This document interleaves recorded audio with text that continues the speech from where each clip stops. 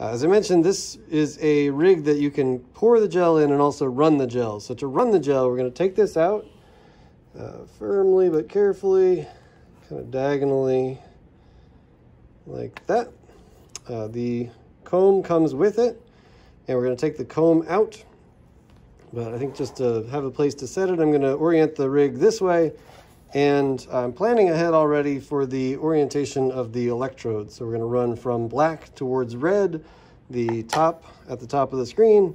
So the top is now uh, where the top of the gel is. And you know what, I feel a little bit safer if I pour the buffer in already. So I'm going to fill this up with the TAE buffer. Um, on the wells, on the rig here, uh, there's some reservoirs off to the side, and those are going to hold most of the volume. Uh, it's hard to see in here, but there's a little wire that runs at the base of this, all the way at the bottom, there and here. And so we're basically setting up an electron electric uh, potential difference between one side and the other side based on that little wire. And so it's going to pass a current through this liquid, uh, and with it, the gel containing your DNA samples. Okay, so I poured in the buffer until just when it's over the top of the gel. So when I move this, you don't see any uh, ridges where the gel peaks up above the agar, or I'm sorry, above the buffer. That would, uh, we probably want to add some more if that was the case. So I'm taking the comb out now. I'm going to rock it just a little bit to unseat it. But mostly just want to go straight up. So got it out of there. That wasn't too hard. And as I look down, if I look down at the right angle here, you can see there are just depressions in there. Um, they look, they're so black, they kind of look like you could go all the way through those. Uh, but the, the comb is positioned in such a way that they'd be, uh, there's a little barrier of agar below these. So we're going to add in liquids to those. We're putting liquid into a depression that's already inside of liquid. So kind of an interesting physical properties test here. The liquid we're going to add is a little more dense, and so it's going to fall to the bottom as I put it in here. And I'll hope to show you that in a little bit. So here are the samples we had. We got them out of the thermal cycler.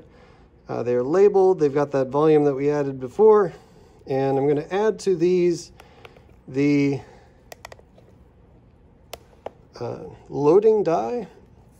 So the loading dye, uh, five microliters of that. The loading dye serves a couple of purposes. It makes the liquid overall uh, a little bit heavier. It makes it visible in this clear liquid solution that we're going to put it into. And the purple on here is not accidental. That purple actually is going to run as we uh, put the electrical current on there.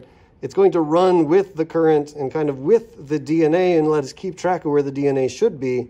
Uh, keep note, we really can't see the DNA at any point in this process until we get this whole apparatus under the uh, gel imaging system. So we kind of have to go on the behavior of the purple dye to let us know where the DNA should be. The purple dye goes faster uh, than small pieces of DNA, and so it should go faster than any piece of DNA that we tried to make using PCR. So I'll just do one of these to get you started. Uh, five microliters of the loading dye. Uh, big important thing to keep track of, this one's called loading dye. It's a purple solution. Uh, this one is called ladder. It's a purple solution. The ladder already contains pieces of DNA, these DNA size standards, and it's a lot more expensive. So don't accidentally go adding ladder to all of your samples. Uh, you won't be able to see your samples and you'll waste a whole bunch of ladder that we didn't need to waste. So use instead the one called loading dye or loading buffer. Uh, so I'm going to add that purple liquid to clear liquid and it's really purple so that's going to make the whole solution turn purple. Uh, this is one way of mixing if you want to skip a vortexing step. You can thoroughly pipette up and down. Works well if the amount you're pipetting is a large proportion of the total volume, which it is here. So that was 25 total volume, and I was pipetting up and down 5 microliters. Uh, that's basically what all your samples are going to look like. I'll go ahead and maybe just load these on the gel so you can see what's going to happen. Skip making an extra edit. So as we get ready to load these into the gel, we're going to start by adding that ladder. So this time we do want to add the ladder. And we're going to add it specifically to a well that we know about. So uh, in my gel, I know that the first well, counting from the left over, uh, first one's going to be the ladder. So I uh, mixed it up by tapping. Decent substitute for vortexing. Three microliters of that. And I'm going to load it into the gel. So, if I can do this without... Uh, I can see it pretty well. It might be a little hard for you to see. Um, so I'm going to actually stabilize the pipetter by putting a fingertip against the uh, pipetter tip. And I'm going to put this in so that the pipetter tip is in the well. And I can tell it's in the well. It's sort of in the well, not touching the bottom. And that way the liquid, when it falls out, uh, will go into where it needs to go and not uh, spill out the top. So this is pretty faint on the video as far as I can tell. Uh, I didn't see it go anywhere that it wasn't supposed to, so I'm gonna have some faith that I put the right thing in the right place. And let me just get you one more, the DNA sample that I prepped. So changing tips every time, of course, these have different uh, DNA solutions inside of them. Don't wanna mix those up.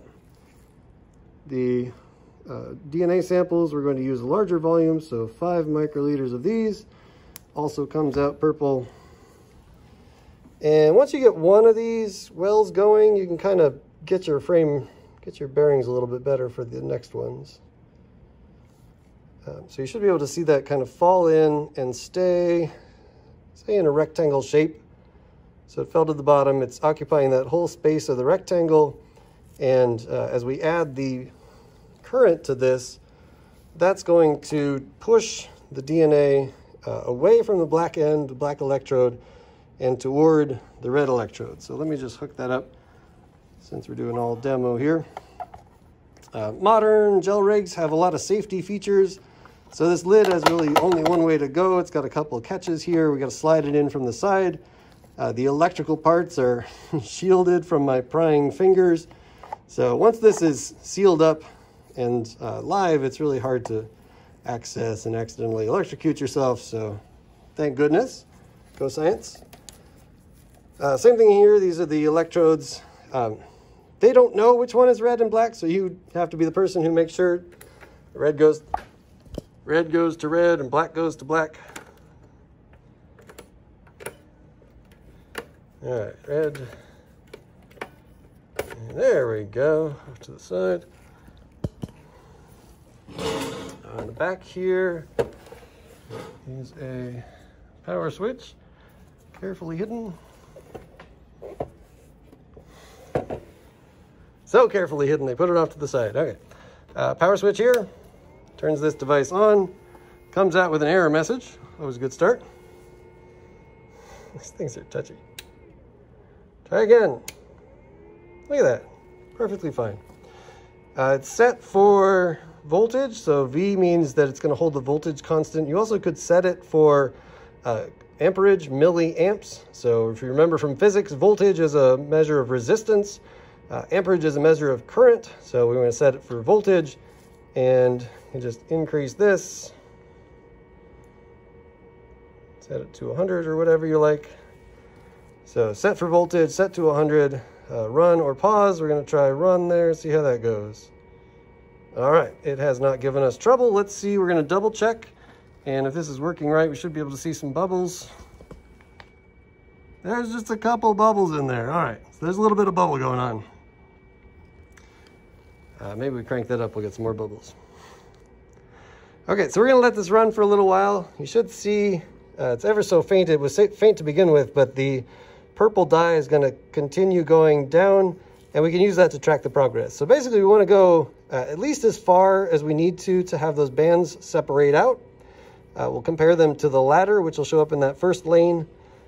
And uh, we're gonna see everything once we get this under the imaging equipment, uh, which we'll do a little bit later when this is done running.